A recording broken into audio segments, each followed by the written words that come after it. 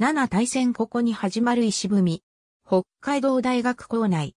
全国7大学総合体育大会は、かつて帝国大学であった旧大学のうち、日本国内で新生大学に受け継がれた国立大学7校が合同で開催している体育大会である。7定戦、または7対戦と省略して呼ばれるが、実行委員会は校舎の故障を推奨している。7、帝柔道と呼ばれる世界唯一の特殊なルールで戦われる柔道競技。この7定柔道が現在は総合体育大会となった7対戦のルーツである。プロ格闘家の中井祐樹、小説家の増田俊也もこの7定柔道の出身。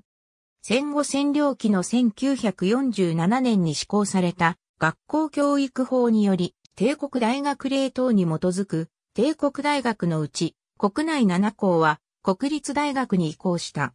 それらはであり、これらの大学に所属する運動部が各種目ごとに順位を決め、大学単位で総合順位を競い合う。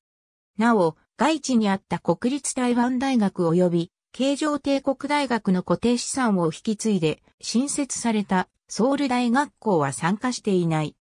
1962年に国立7大学総合体育大会として北海道大学の主催で始まった。1946年から日本各地で巡回開催されるようになった国民体育大会等により各地に体育施設が整い始めた高度経済成長期には、1959年5月26日に東京オリンピックの開催が決定し、1961年にレジャーが流行語になってレジャーブームが始まり、同年10月1日に実施された国鉄ダイヤ改正により全国的な特急列車網が形成された。とはいえ、国体のような参加者の移動、宿泊費用に公的補助がある大会とは違い、九州大がある福岡市博多駅から寝台列車で東京駅まで行き、再び長距離列車と青函連絡船を乗り継いで北海道大がある札幌市札幌駅まで行くとなると参加者には相当の時間と費用がかかった。その後、新幹線の発達、高速道路網の発達に伴う高速バスの発達、学生のマイカー所有、長距離フェリー航路の発達、航空路線の低廉化などにより、参加学生の負担は体力的にも軽減された。開催地、主観校は毎年7大学の所在地を持ち回りで行われる。順番は北海道大九州大大阪大京都大、東京大東北大名古屋大で始まったが、東大紛争後に東京大と東北大の順番が入れ替わった。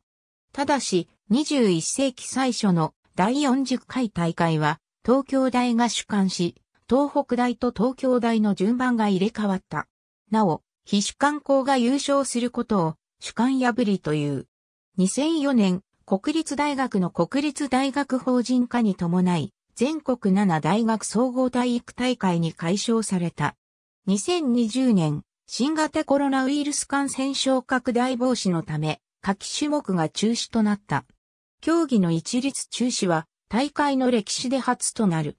2021年、新型コロナウイルス感染症拡大防止のため、航空の部など春季種目の一部の中止が決定。第58回終了時点で2018年開催の第57回大会において開催された競技。ありがとうございます。